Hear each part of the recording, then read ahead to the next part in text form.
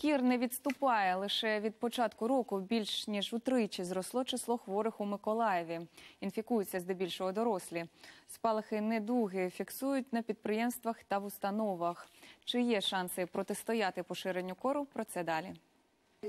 Висока температура, запалення горла та висипка. Кір масово укладає на лікарняні ліжка дорослих. Від початку року в Миколаєві зареєстрували вже понад півтисячі випадків.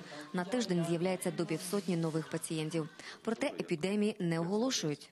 Сказати, чи є це епідемія, я не можу, тому що в мене немає, мені не делеговані на сьогоднішній день такі повноваження, щоб сказати, що то є епідемія. В свій час слово епідемія міг використати лише головний державний санітарний лікар. На сьогоднішній день такої інституції, як е, головний державний санітарний лікар, не існує. Статистику хворих переважно поповнює молодь. Фахівці кажуть, усе через те, що 20-30 років тому батьки масово відмовлялися від профілактичних щеплень.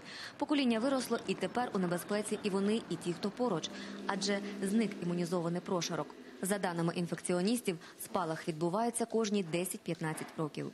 Воздушно-капельным путем можно заразиться. То есть это если э, человек заболевший едет в транспорте, да, или там в супермаркете, ну, где люди у нас места скопления людей, вот, э, какие-то концерты, мероприятия, если там есть э, заболевший человек в активном периоде, что в куре опасно, что становится заразным, он еще и до высыпания за несколько дней, и в среднем там 4, от 4 и выше, если это происходит с пневмонией, допустим, заболевание с- ну, усугубляется, тогда более длительный заразный период. У Миколаєві спалахи кору зафіксували на п'яти організаціях та підприємствах. А у дітей проблема торкнулася менше.